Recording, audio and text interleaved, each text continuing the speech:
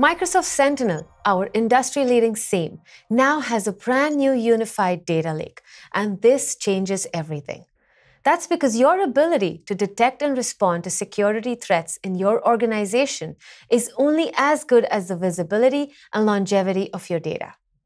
It means being able to look across your digital estate at scale as it produces terabytes of logs, assets, and alerts and then correlate signals going as far back in time as needed to pinpoint security events. The trick is being able to do this efficiently without being constrained by storage costs or siloed tools, and that's what we've solved for. Our new data lake takes an open format approach to bring all your security data together, centrally leveraging our expanding set of connectors. And you can even mirror data from on premises and non Microsoft Cloud data sources at hyperscale without migrating it.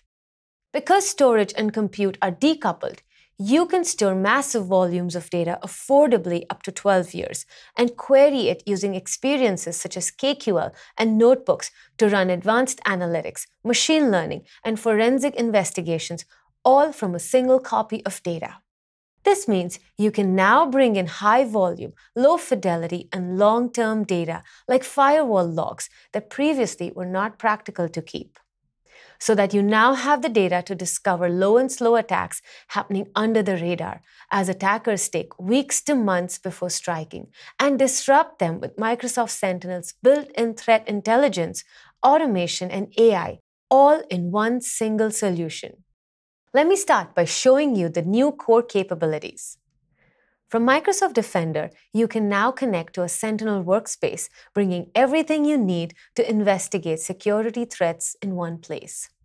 Once connected, Microsoft Sentinel appears in your left navigation pane with a full set of new experiences, including our unified data lake capabilities. Let's start with data management, which is now available directly in the Defender portal. This is where you'll typically begin by connecting your logging sources using our expanding set of connectors. It works with your existing connectors and gives you new flexibility to cost effectively store data well beyond the previous 90 day default. And for the first time, you can mirror data from Microsoft sources alongside external sources like the AWS S3 and Cisco network logs shown here into the data lake. And as mentioned, Using table management, you can manage precisely where and how you store data and manage retention. From the new table management page, you can continue sending data to the analytics tier as before, and it will now automatically be mirrored to the new lake. If I click on Manage Table, I can change retention settings. So now it's easy to send what you want directly to the data lake tier, which is ideal for high volume, low fidelity data like these firewall logs. And from here, I can also stipulate the retention period for this table.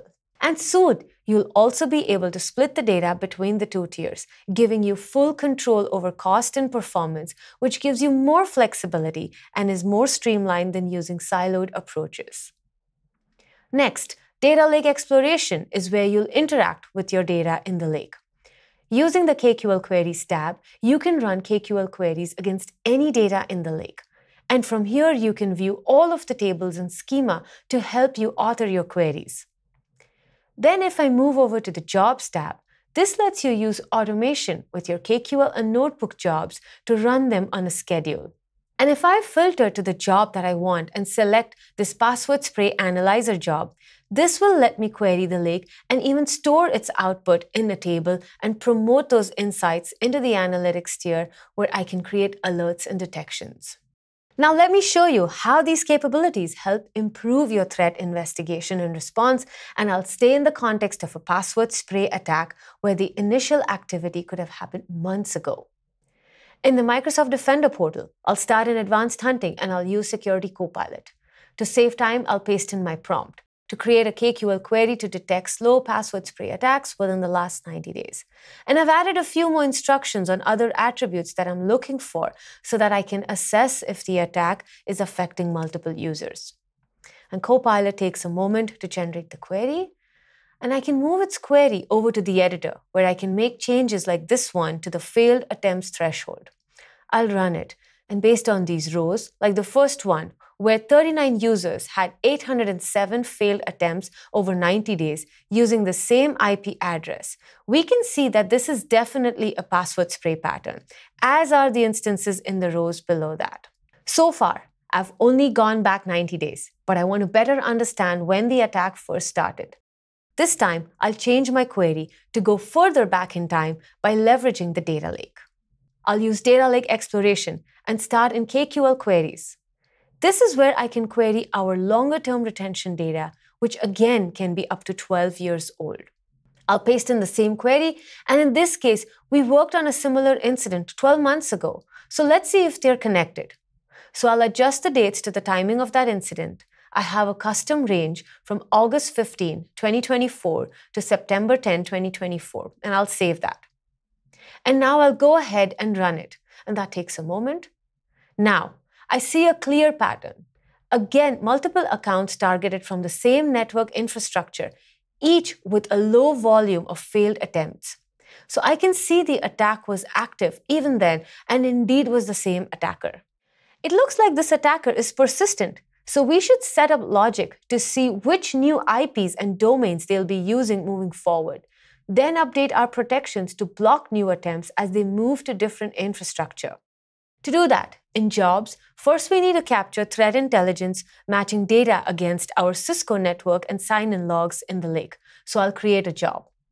I just need to give it a name and description, then select a workspace and create a new table in this case, and I'll call it Cisco Daily Log. Next, I'll paste in my query. Here I can choose to run it once or automatically run it as a scheduled job. This will promote the output to the analytics tier. And from there, we'll be able to use those insights to automate blocks in Microsoft Entra and our firewall. To get that going, I've selected my start time, then I just need to confirm and submit. So I traced post-breach data to find the root cause, enabling dynamic and proactive defenses. Next, by applying data science and machine learning to the data lake, SOC analysts can work together with data scientists to move from reactive to predictive insights. As a data scientist in VS Code, I've installed the new Microsoft Sentinel extension from the marketplace. This uses the same single copy of data that's in the lake. Here, in the notebook, I can author queries in line, and in this case, I even use GitHub Copilot for that. I don't need to worry about provisioning compute since it's all managed. I've also already run this Python query using the Microsoft Sentinel Provider library. I've used popular machine learning libraries to train a user sign in anomaly insights model. Notebooks are also great for inline visualizations, and I've created a scatter plot chart to see deviations from baseline user sign in behavior, like sign ins from unusual IP ranges, login attempts outside normal hours, or unexpected device types.